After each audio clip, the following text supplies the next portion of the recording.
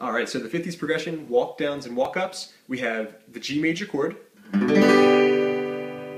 E minor chord, C major chord, and D major chord, and we're gonna tie them all together with simple walk downs and walk ups. So from G to E minor.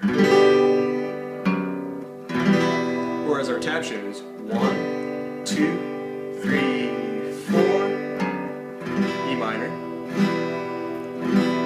that brings us to the C major chord. Open A, second fret A, to B note, and then up to our C major. After that three strums, we have the transition from C major to D major. It's to be third fret A string, second fret D string, which is already inside the chord, so that's just an arpeggio. And then four strums of the D major.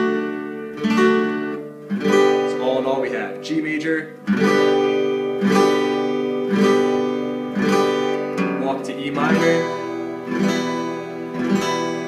open A, second fret A, C major, and then third fret A, second fret D or A string, D string right out of the C chord, D major. You can even walk back up to the G, open E, second fret, that's an F sharp note, G major, so that was on the E string, blah.